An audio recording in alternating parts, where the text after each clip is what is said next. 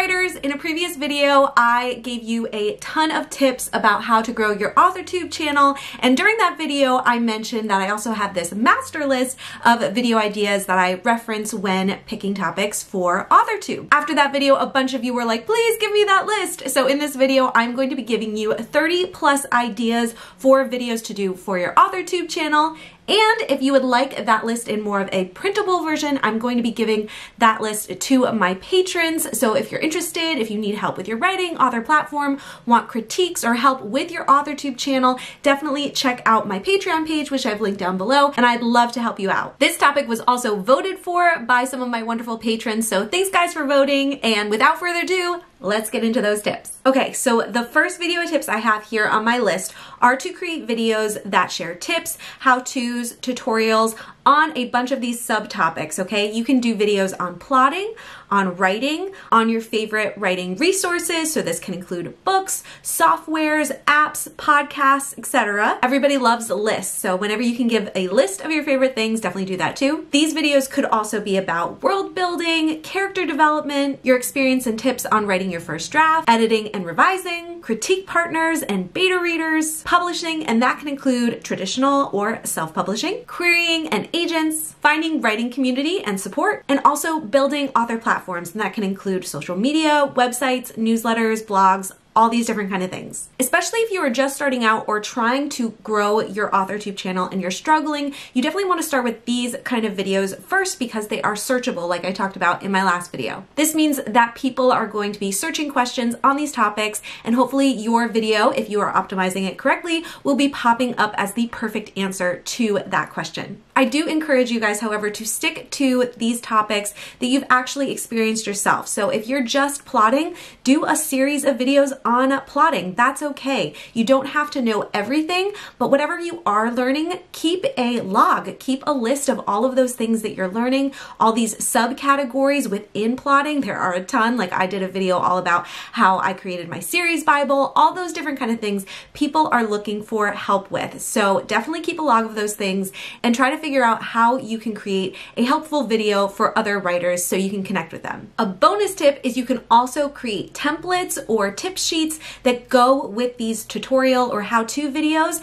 And if you create those and put them on your author website, you can then direct traffic to your website that they get this free download in exchange for signing up to your newsletter and checking out your website, which again connects you to more people and in turn can grow your AuthorTube channel. If you don't have an author website yet or newsletter or are struggling to improve your own, I do host an author website bootcamp that includes newsletters and that next round of bootcamp is actually starting this June. So if you want to get in on that and check out all the details, I do have a link for that in the description below. But let's get back into these video ideas, shall we? My next few ideas are you could do writer's vlogs, so you can do a day in the life, which a lot of people really enjoy watching. You could do a book or author event that you go to. So for example, I've gone to BookCon or I just did an indie book crawl with Mandy Lynn, which was really fun. You could also do videos where you share your writing goals. That's also really encouraging to other writers and inspires them. Another idea is doing writer productivity hacks, book reviews, and this can be on fiction books or writing craft books. You could even do product reviews for writerly products. And if you do a product review, you could also send that to the owners of that product and just tell them that you're promoting their product. These businesses love free promotion and maybe in the future they'd like to sponsor a video of yours. You never know. During the seasons of NaNoWriMo, Preptober, Camp NaNoWriMo, a lot of people are also looking for vlogs or tips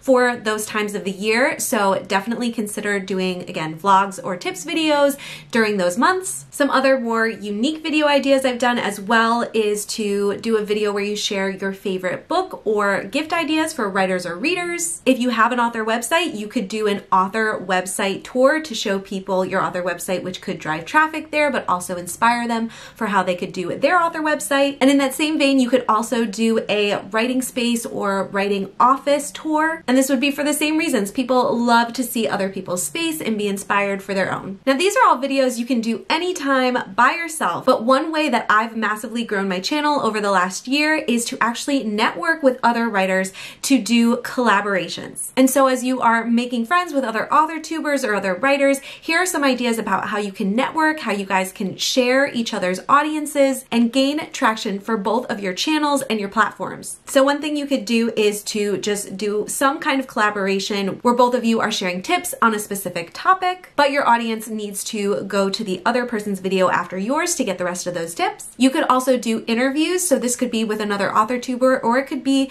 just with another writer. Maybe they have experience that you don't yet have, but you want to give your audience some credible information on that topic. So you can just do a Q&A, which is really, really fun to do. You could also do these Q&As live, which I'll talk about more about live streams in a little bit. But if you do them live, then people can interact and ask questions live as well, which can be a lot to handle and can be a little overwhelming your first time. But once you get the hang of it, it is so fun and gains so much traction for your channel. Another thing you can create is a writing tag where you create a certain number of questions that you answer for yourself on your video, like on a specific topic or about your book or something, but then you tag other writers or other author tubers to do it on their channels as well.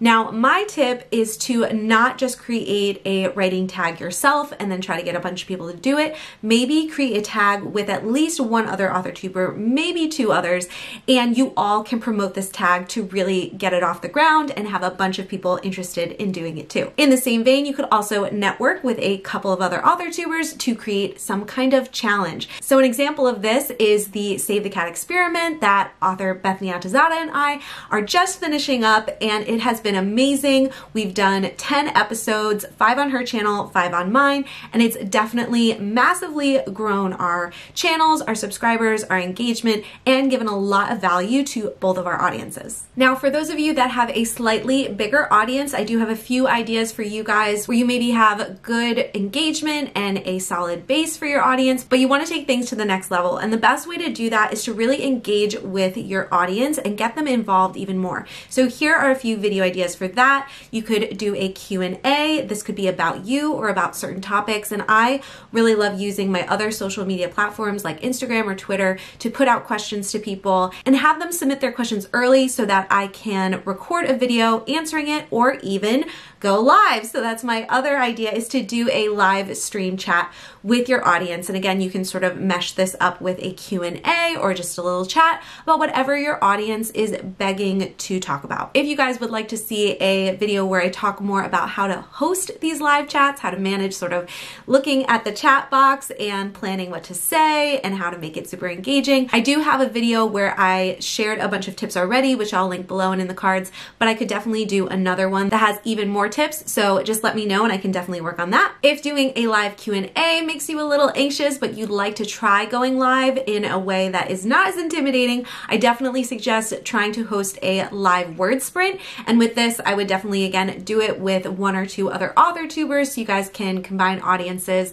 and just get people engaging, naturally talking about writing in between your word sprints, but also getting writing done together, which is really fun. And finally, if you've been around a little while, you could also sort of celebrate your AuthorTube channel with your audience by doing a vlogiversary. So if you've been around for six months or a year, however long you want to celebrate, you could just do a, again, live stream where you are naturally talking to your audience. So you don't have to do a ton of pre-planning. You could ask for a few questions ahead of time, but then you just get to celebrate and thank your audience. And in that or separate from that, you could also do a giveaway. So people love free stuff. They love answering questions in order to get that free stuff. And again, it's just that much more engagement. So hosting a giveaway, possibly with a vlogversary or something like that is something I've seen people do. Definitely something that I would like to do. Depending on when this video comes out, I've either just passed or I'm about to hit my one year vlogiversary and yeah, I might not be able to do something on the day, but I'm really excited about doing something soon. So definitely keep an eye out for that. Finally, you guys are probably wondering, hey, when do I get to talk about my books? When do I get to talk about my own writing?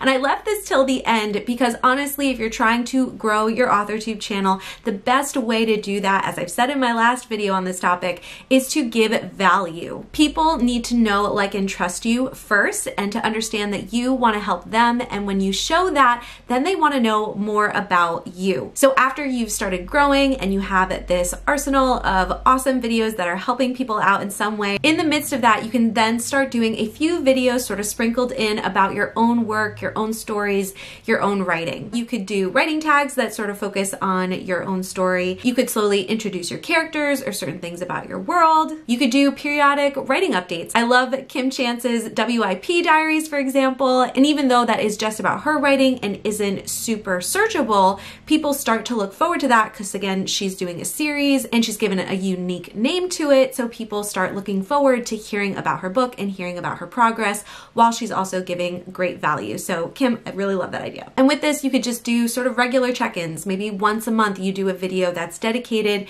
to your own writing. And at the end of the year, you could do sort of like a little recap of like, where has my book gone from point A to point B? That would be a really fun title to say, my writing progress in a year or something like that. All right, now what I want you to do is take some time and use this list to brainstorm specific video title ideas that you can be doing in the next few months. And if you want more help again with your channel or you want all these video ideas in a printable version, again, you can check out my Patreon page and also check out these awesome videos that I think will help you with your AuthorTube channel and with your author platform as well. Let me know in the comments if you have any other ideas that I didn't include on this list and we'll see you in the next video.